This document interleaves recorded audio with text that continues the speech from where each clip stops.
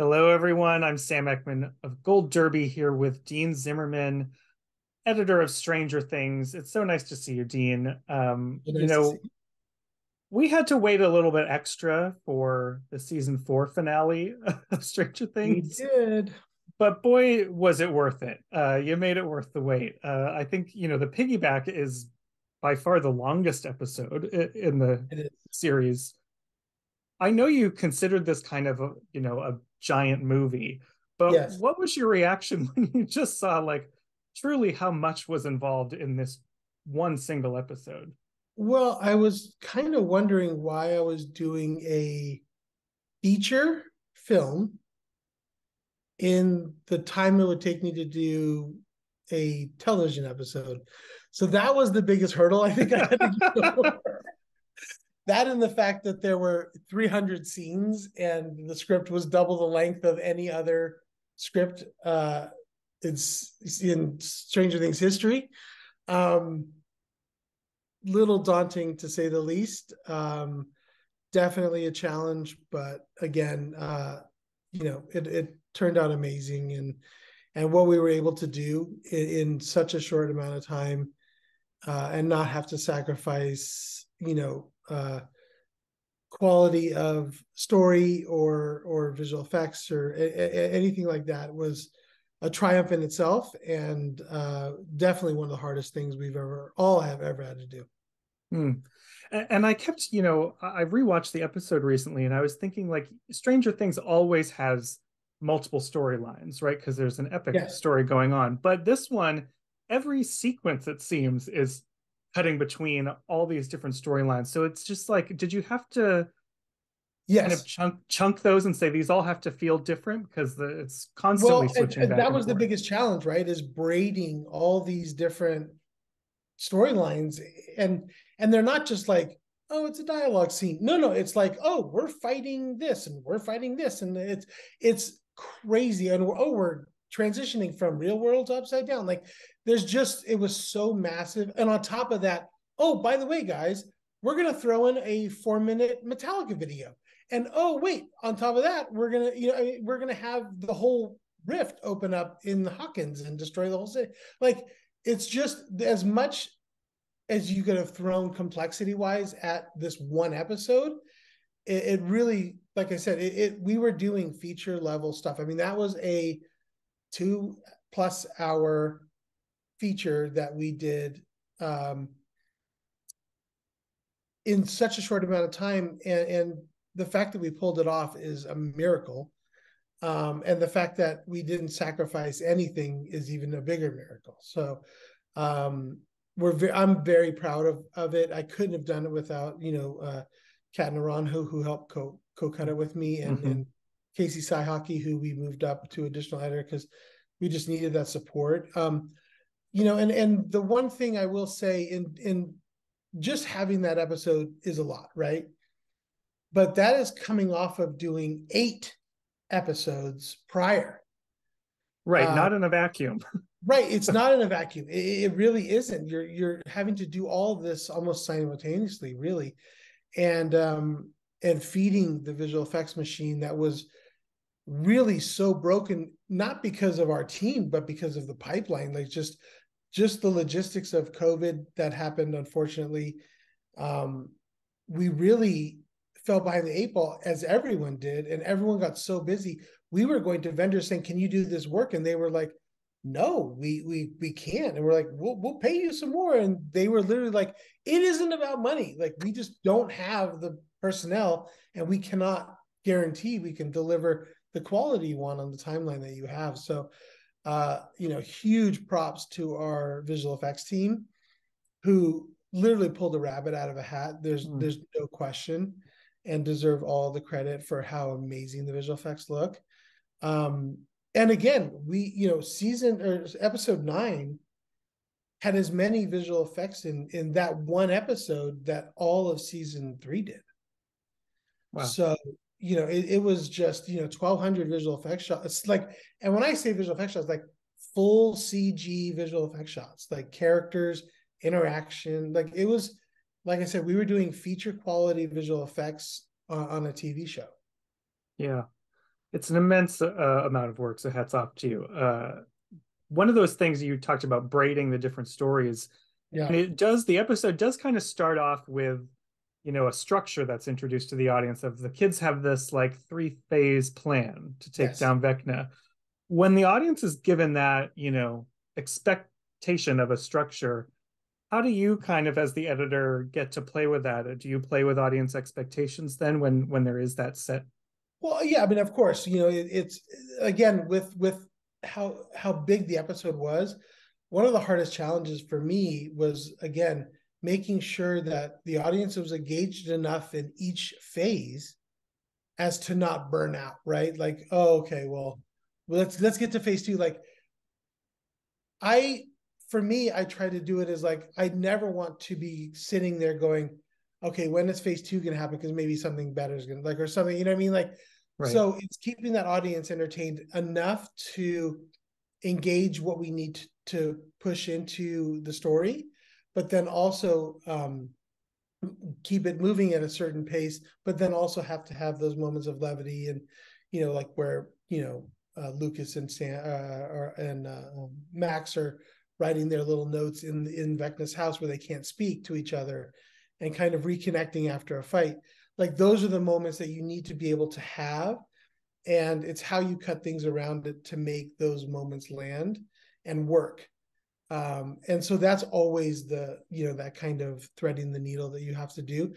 The problem with 409 is it was so long that you had to do that all the time where in in a more of a compressed you know 45 or 48 minute or 55 minute episode it's a little easier because you can kind of navigate and speed up and slow down where you need to to kind of create that you know so you don't get exhaustion from the audience. But to carry a two and a half hour and keep people riveted and on the edge of their seat is definitely a feat in itself, for sure. Yeah.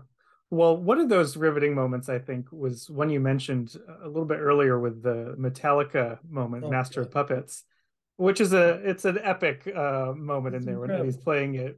How does that kind of when you have music involved, an iconic piece of music, how does that affect your pacing and your work? Well, so this is, and I'm so happy you asked that question because it's it's when you look at it, you're like, oh, it was it's amazing and that was a great sequence.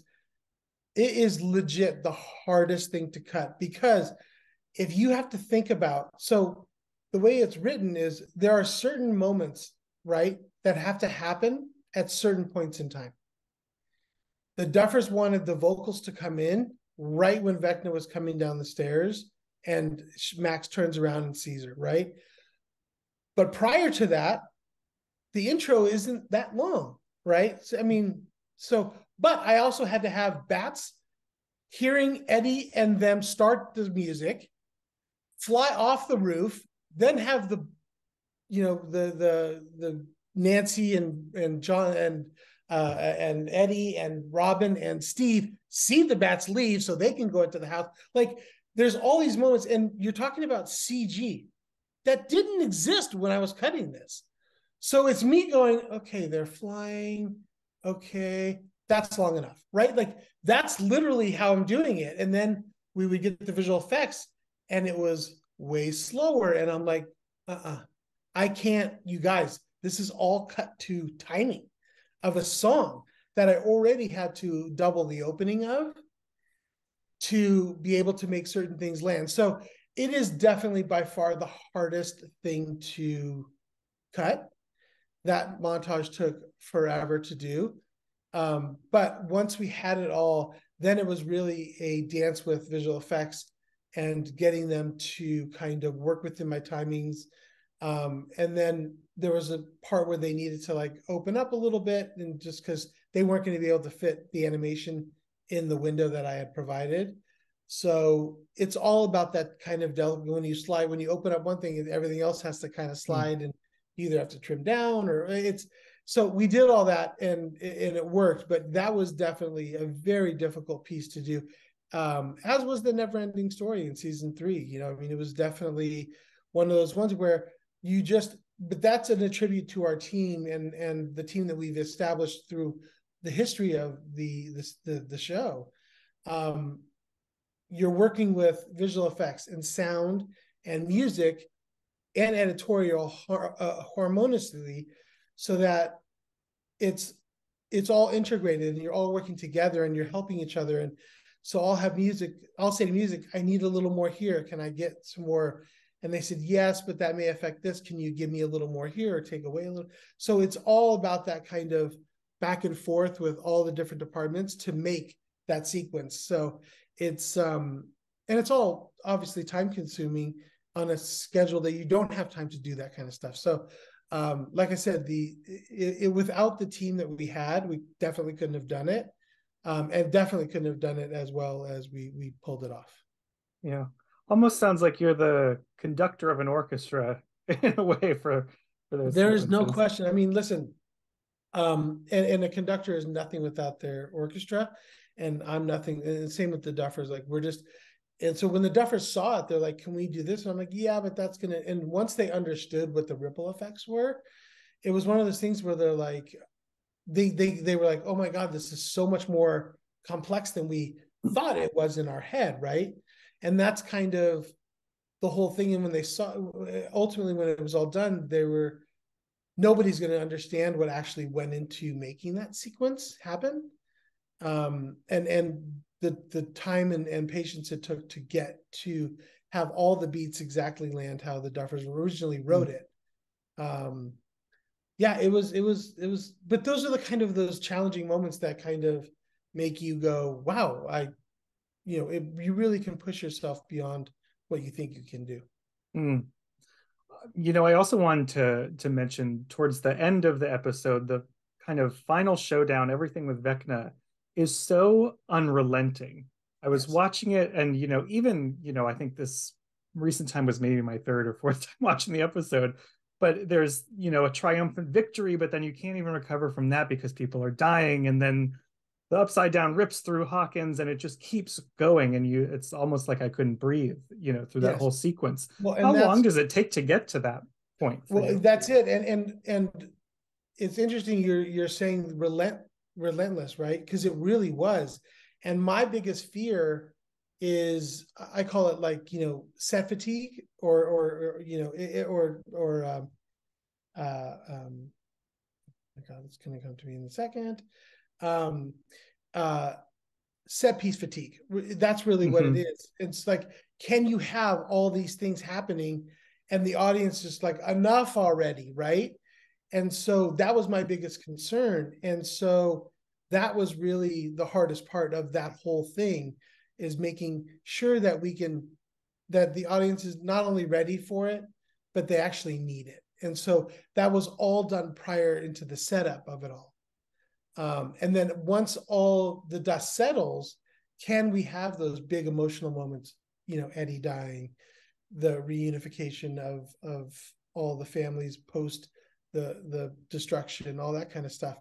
Um, those are the kind of things that you don't know until you've put it all together and you watch it and go, okay, we're good, or this is where we need to attack and try to figure out and make work a little bit more.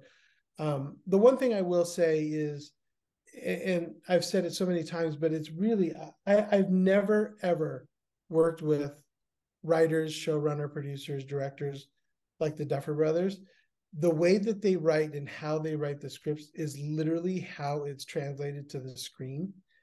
Um, we very rarely deviate. They'll let me take a lot of creative license with performance and stuff, but um, as far as structurally how it's written is is really how it, it is, and it's it's a big tribute. Like they spend so much time really honing that and perfecting it. Um, and it's not for me to rewrite and and because it's not in trouble. And so that's one of those like their superpowers is the way that they write is just it's virtually I, I've yet to read anything else that has been written and like every single word that's written is in the show. Normally you have so much stuff on the cutting room floor or whatever. It's so rare in in in the Duffer scripts that we lose or, or eliminate anything. We may trim down some stuff, but at the end of the day, they are just they know exactly how to hit these moments and, and it, it's really just a tribute to them so they the blueprint that they lay out is just phenomenal. And without it like this show would be way 10 times harder to do. Um it, listen it's it's very difficult because like again you have to remember season four was almost double the length of season three. You know season three came in under eight hours of content. This yeah. one was over 12 and a half hours of of content. So uh and and essentially in the same window. So um we almost had to do double the work this season which was um a feat in itself. But again our team is what makes um everything possible and without them we're nothing. But um uh it's also the duffers you know knowing what they want knowing how they want it done. Me knowing them so personally now that it's really just kind of a turnkey thing. So um we've definitely created a, a really nice family uh with this with this series amazing well yep. team thank you so much as always always a pleasure it's always such a you. pleasure to see you Thank you. And I'll be in New York. Watching... You should definitely hook up or something. Oh, wonderful. Yeah. Everyone who's out there, subscribe to Gold Derby, keep up with us, and stay tuned for Stranger Things, the final season. Dean, thank you so much. Thank you, Sam. Really appreciate it.